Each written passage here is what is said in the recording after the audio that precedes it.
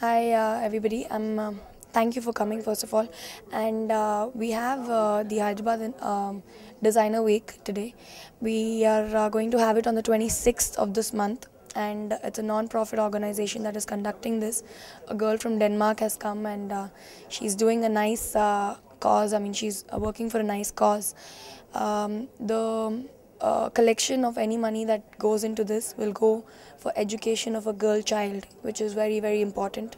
And um, I totally support it, and I hope uh, uh, the show is a huge success. And I'm very very honored to be a part of. it. We are about uh, four designers, three to four designers. So uh, I'm very excited to be a part of the same platform, if I may say so. And um, I'm very lucky to be contributing a little bit to uh, what I can for the girl education and that cause.